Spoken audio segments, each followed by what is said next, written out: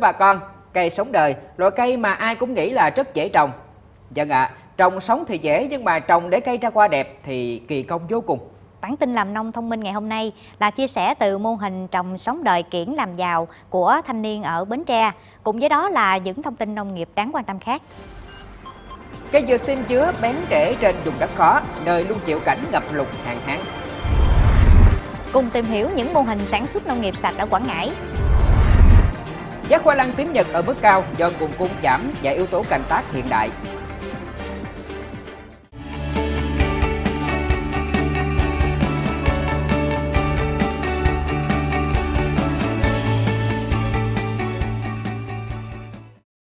Thưa bà con, chuyển từ đất trồng lúa cho năng suất thấp thành khu vườn trồng dừa sim chứa thu lợi gấp mấy chục lần so với trước kia. Ông Ngân Văn Phi, ngụ tại xã Hưng Thạnh, huyện Tân Hưng, tỉnh Long An đã làm giàu ngay trên mảnh đất quê hương. Mùa rồi thì bà con à, trồng lúa nơi đây gần như là mất trắng khi hạn hán dịch bệnh hoành hành. Trong khi mấy năm nay ông Phi sống yên lành khi tìm ra được à, một loại cây trồng phù hợp giúp cải thiện hơn trong cuộc sống. Ông Cần Văn Phi luôn trăn trở tìm cách chuyển đổi cây trồng để cải thiện thu nhập kỹ là làm. Ông lên mạng tìm hiểu về loại giống cây trồng khác nhau, trong đó chú ý đến giống dừa xiêm dứa tại Bến Tre. Sau khi tìm hiểu, nhận thấy dừa xiêm dứa cho trái nhiều, nước ngọt, có mùi thơm đặc biệt, giá bán cao hơn các giống dừa khác, nên ông đã mạnh dạn đặt mua 500 cây giống. Sau đó, ông chuyển 2 hecta đất trồng lúa cho năng suất thấp sang trồng dừa xiêm dứa, tổng chi phí đầu tư ban đầu gần 150 triệu đồng. Hơn 5 năm trồng dừa xiêm dứa, gia đình ông không phải lo sợ khi nước lên cao mà còn cho thu nhập cao hơn so với trồng lúa hay trồng nhãn, loại cây trồng mà ông từng thử. Cụ thể, dừa trồng 18 tháng bắt đầu cho thu hoạch, bình quân mỗi cây cho từ 120 đến 150 trái một năm, giá bán 10.000 đồng một trái. Ông trồng theo quy cách, cây cách cây 5 mét, theo hàng dọc, hàng cách hàng 7 mét. Ngoài ra ông còn trồng xen canh thêm 300 gốc bưởi, Tuổi đời của cây dừa ít nhất là 25 năm. Bình quân từ khi mua giống cho đến thu hoạch, người dân chỉ bỏ ra chi phí ban đầu 200.000 đồng một cây và sau 18 tháng không chỉ lấy lại tiền vốn mà còn có lời. Không chỉ đưa giống dừa sinh chứa bén rễ trên vùng đất khó, mà ông Phi còn ấp ủ ý định thành lập khu vườn sinh thái để phát triển du lịch, tạo việc làm cho người dân nông thôn. Bằng sự nỗ lực, dám nghĩ, dám làm, ông Phi sẽ sớm hoàn thành được những dự định trong tương lai. Trồng cây ăn trái kết hợp với làm du lịch là thế mạnh của bà con miệt vườn cần khai thác. Thưa bà con, ở huyện Bình Tân, tỉnh Vĩnh Long, đây là địa phương nổi tiếng trồng khoai lang khi đất nơi đây là đất cát pha sét như phù sa, do đó khoai trồng luôn ngon, ngọt hơn ở những vùng khác. Một sản lượng lớn được xuất khẩu mang về nguồn tiền lớn cho bà con phấn khởi tiếp tục sản xuất. Nhưng mà để trở thành à, dùng khoai lang nổi tiếng của dùng, trong những năm qua thì bà con nông dân đã có bước cải tiến dài trong việc là chuyển giao và áp dụng những à, kỹ thuật canh tác mới. Cơ giới hóa các khâu làm đất, tưới tiêu, phun xịt, bón phân, chăm sóc đã từng bước thay đổi cho việc à, sử dụng lao động thủ công. Từ đây thì cũng đã giúp cho giá của nơi đây nhỉnh hơn đôi chút khi mà trồng ở nơi khác. Khoảng một tháng nay, giá khoai lang tím Nhật ở mức cao từ 900.000 đồng đến 950 một tạ cao hơn 300.000 đồng một tạ so với cùng kỳ năm trước. Với mức giá hiện tại, nông dân có lợi khá. Nguyên nhân giá khoai cao là do chất lượng khoai được cải thiện nhiều. Một phần còn là do các tháng đầu năm ảnh hưởng của dịch bệnh khiến khoai khó xuất khẩu, nhiều nông dân không xuống giống khiến nguồn cung hạn chế. Tuy giá khoai đang ở mức cao nhưng một số nông dân cho biết do nhiều ngày nay mưa nhiều, triều cường dâng cao, đất dẻ lại nên dù sản xuất trong vùng địa bào khép kín nhưng chưa dám dỡ khoai, phải đợi khô đất trỏ nước mới đào khoai. Chất lượng khoai năm nay cũng khá đẹp. Bắt đầu vào mùa hồng giòn Đà Lạt, nhưng lúc này giá khá cao nên người dân trên địa bàn huyện Lạc Dương, thành phố Đà Lạt, tỉnh Lâm Đồng rất phấn khởi, hy vọng kiếm được thêm một khoản thu nhập. Hiện nay giá bán tại vườn khoảng 18.000 đồng. Tuy năm nay giá có cao hơn năm trước, nhưng hiện tại người dân trồng hồng giòn đang bị mất mùa do thời tiết và dịch bệnh.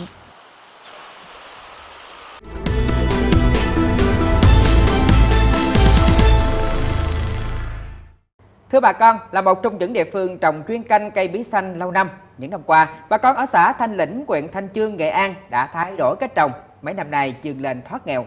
Và để xem bà con nơi đây sản xuất bí như thế nào mà thoát cảnh nghèo đói, mời quý khán giả cùng theo dõi. Gia đình ông Nguyễn Vân Trường ở thôn Hồng Lĩnh, xã Thanh Lĩnh có hơn 2 công đất trồng bí xanh. Do áp dụng đúng quy trình kỹ thuật nên diện tích bí của gia đình phát triển tốt, trái to đều và nhiều. Qua nhiều vụ trồng bí xanh, ông Tường rất phấn khởi khi cây bí luôn cho thu nhập cao gấp 5-6 lần so với trồng bắp, trồng khoai. Từ cách này 5 năm, nhận thấy điều kiện thổ nhưỡng và khí hậu ở Thanh Chương phù hợp với đặc điểm sinh trưởng phát triển của cây bí xanh, nên nhiều bà con mạnh dạn chuyển đổi. Bí xanh rất dễ trồng và thích hợp với vùng đất này. Quy trình trồng có che phủ ni lông, bí bấm đọt khi được hai lá và mỗi dây để một cái hai trái.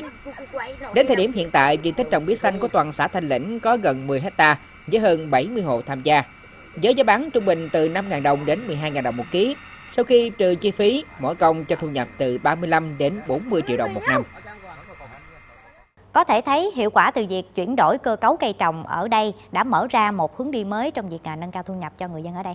Tuy nhiên nếu như mà cứ tiếp tục mở rộng quy mô, chính quyền địa phương cùng với người dân phải cần liên kết chặt chẽ bốn nhà để cây bí xanh phát triển bền vững, ổn định đầu ra, tránh tình trạng thừa hàng dội chợ.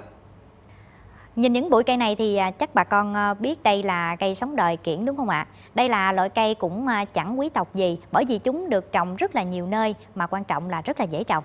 Chẳng quý tộc nhưng mà bà con biết không, loại cây này đã giúp một người nông dân ở huyện Chợ Lách tỉnh Bến Tre có nguồn thu nhập ổn định, dần có bước chuyển mình phát triển kinh tế. Mời bà con cùng tìm hiểu về người nông dân với mô hình trồng sống đời Thái ngay sau đây. Mặc dù tốt nghiệp chuyên ngành thú y, nhưng dường như niềm đam mê với cây kiển khiến cho anh Nguyễn Văn Tuấn ở ấp Phú Long, xã Hưng Khánh, Trung Bê, huyện Chợ Lách, tỉnh Bến Tre, quyết định bỏ ngang công việc ổn định, về quê gắn bó với mảnh đất vườn, làm nghề trồng qua kiển và thành công nhất là mô hình trồng qua sống đời Thái. Được biết, trước khi đến với mô hình trồng qua sống đời Thái, anh Tuấn cũng có thời gian dài gắn bó với việc trồng kiển tắc, mai vàng và một số kiển lá màu. Nhưng sau khi trồng thử nghiệm loại qua này, ai cũng nghĩ sống đời rất dễ trồng, nhưng để đẹp, để xanh tốt ra qua thì quả thật rất khó. Đôi lần anh đã từ bỏ ý định. Rút kinh nghiệm sau 4 năm kiên trì với cây sống đời, cuối cùng anh cũng có thành quả để xuất bán ra thị trường. Để cây sống đời sinh trưởng và phát triển tốt, đòi hỏi người làm vườn phải nắm rõ được đặc tính, thân mọng nước của cây, để từ đó có cách bố trí dàn đỡ, có độ cao vừa phải, đảm bảo sự thông thoáng, giá thể trồng phải đảm bảo thoát nước tốt. Đó là điều kiện ban đầu để cây con phát triển tốt, Dự tính trong năm nay, gia đình anh Tuấn sẽ cung ứng ra thị trường khoảng 27.000 cây sống đời các loại đi khắp các tỉnh thành. Bên cạnh sự thành công từ mô hình trồng cây sống đời, anh Tuấn đã không ngừng học hỏi, quan sát thị trường để sản xuất ra nhiều giống hoa mới lạ đáp ứng nhu cầu của khách hàng. Với tình hình hoa trúng mùa được giá và tỷ lệ hao hụt thấp, gia đình anh sẽ đón cái Tết sung túc hơn so với các năm trước. Chính nhờ sự à, kiên trì theo đuổi niềm đam mê đã giúp cho anh Tuấn gặt hái được những thành công nhất định. Qua đó thì giúp cho đời sống kinh tế gia đình ngày một khấm khá.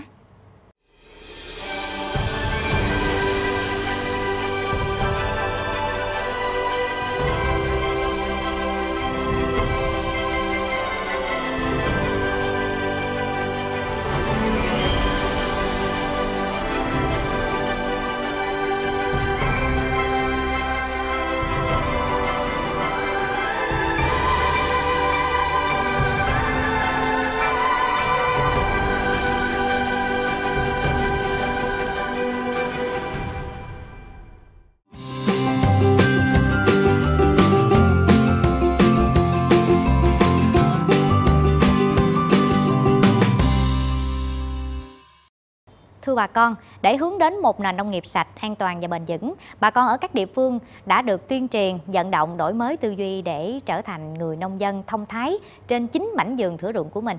Nhằm tạo sức lan tỏa trong nếp sản xuất nông nghiệp an toàn của nông dân, thời gian qua, tỉnh Quảng Ngãi đã đẩy mạnh công tác tuyên truyền, vận động nông dân nâng cao ý thức trong sản xuất kinh doanh, kết hợp với việc cung cấp các dịch vụ hỗ trợ, tạo điều kiện cho người nông dân thay đổi thói quen sản xuất nông nghiệp truyền thống sang sản xuất nông nghiệp hiện đại an toàn.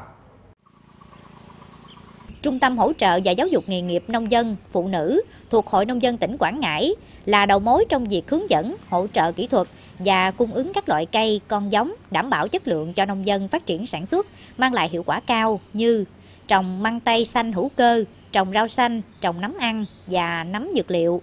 Tại các mô hình này, từ khâu sản xuất cho đến thu hoạch, bảo quản và phân phối ra thị trường đều tuân thủ theo quy trình chặt chẽ, nên sản phẩm nông nghiệp an toàn được người tiêu dùng tin tưởng lựa chọn.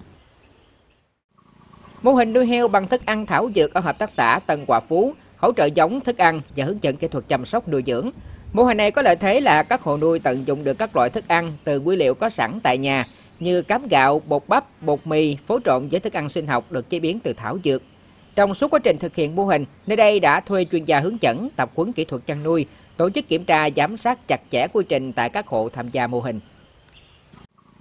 Nhiều nơi nông dân còn năng động sáng tạo, nhiều quy trình sản xuất nông nghiệp hữu cơ, nông nghiệp sạch theo phương thức quản lý dịch hại tổng hợp như ruộng lúa bờ qua, vườn rau bờ hoa, hoặc là sử dụng các chất dẫn dụ côn trùng nhằm hạn chế tối đa việc sử dụng thuốc bảo vệ thực vật để không ảnh hưởng đến chất lượng nông sản, không gây ô nhiễm môi trường xung quanh. Nhiều nông dân còn tăng cường sử dụng phân hữu cơ và phân vi sinh cho cánh đồng rau màu của mình và hạn chế sử dụng thuốc bảo vệ thực vật, hóa học để nâng cao chất lượng nông sản, an toàn cho người tiêu dùng. Để làm được điều đó thì các mô hình phải lớn không được phân tán nhỏ lẻ. Thêm vào đó, nếu áp dụng đúng quy trình sản xuất nông nghiệp sạch an toàn thì đòi hỏi giá đầu ra ít nhất phải cao hơn 1,5 lần so với giá thành thì người dân mới có lời. Điều này đang là điểm nghẽn mà địa phương nào cũng mắc phải biết bệnh gì thì còn dễ trị đúng không anh Minh Thiện? Và theo tôi nghĩ là người nông dân à, thông thái như tiêu chí của tỉnh Quảng Ngãi đặt ra cũng sẽ không khó với các địa phương khác. Quan trọng là chính quyền cần phải hỗ trợ khâu quảng bá sản phẩm nông sản sạch, an toàn của nông dân đến với người tiêu dùng trong và ngoài tỉnh và bay xa hơn càng tốt. Đến đây bản tin làm nông thông minh cũng xin được kết thúc. Cảm ơn quý khán giả và bà con đã quan tâm theo dõi. Kính chào và hẹn gặp lại trong bản tin tiếp theo.